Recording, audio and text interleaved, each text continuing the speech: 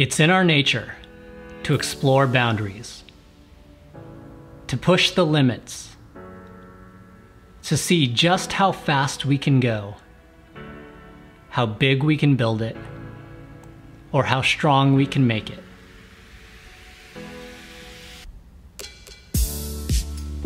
And along the way, we're bound to encounter failure.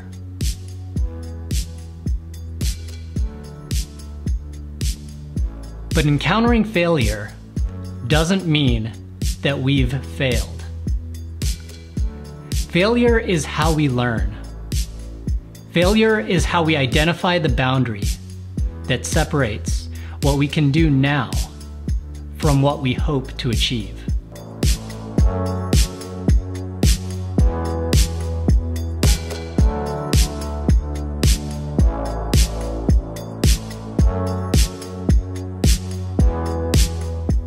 Technology is complex, and it's growing in complexity every day. We're breaking large applications into smaller services, distributing them across data centers around the world, and automating deployments to change their code dozens or even hundreds of times every day. The more complex a system is, the more prone it is to failure. But that failure also becomes harder to resolve because complex systems are more difficult to understand and reason about. Systems on their own are never going to be reliable. You can add tests to ensure that given some input, your code returns the desired output. But in a world where everything is dynamic, where your application's code is constantly changing, and your entire infrastructure is ephemeral due to the nature of cloud operations. The only way to make systems more resilient is by improving your understanding of your systems. Knowledge is the key to building better systems and quickly fixing them when they break.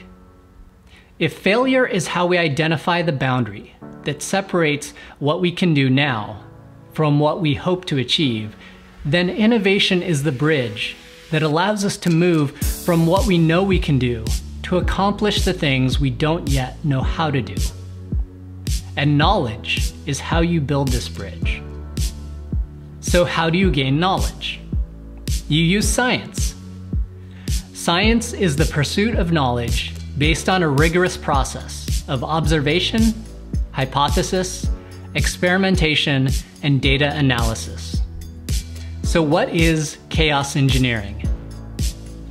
Chaos engineering is the practice of applying the scientific method to learn about our systems, with the ultimate goal of using our knowledge to build more reliable systems. You observe the system, make a hypothesis about how it will respond to failure, inject the failure, and collect data then analyze the data to improve your understanding. By improving your understanding, you become a better engineer and are able to improve your systems. In short, chaos engineering in four words. Build, fail, learn, repeat.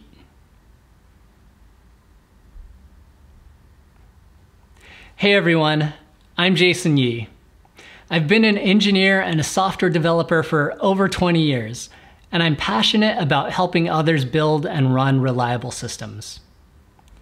I'll be posting more videos about chaos engineering, SRE, and DevOps topics.